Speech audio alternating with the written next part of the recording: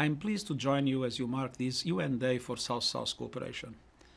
The COVID-19 pandemic is the most complex immediate challenge facing our world and it is undermining hard-won social, economic and environmental gains. In such trying times, the solidarity that underpins South-South cooperation has once again proven vital for developing countries. Throughout the pandemic, countries of the Global South have shared their knowledge and resources to support response and recovery efforts. But together, we must do much more.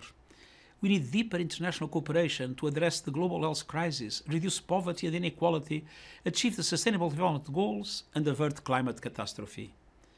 That means building inclusive and resilient societies, empowering women and youth, leveraging digital, greener, and bluer initiatives, and expanding sustainable financing. South South and triangular cooperation offer concrete solutions to these shared challenges.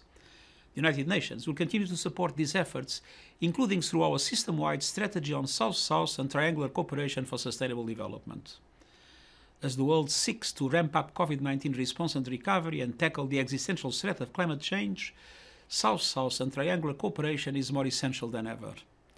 Thank you for your leadership and support.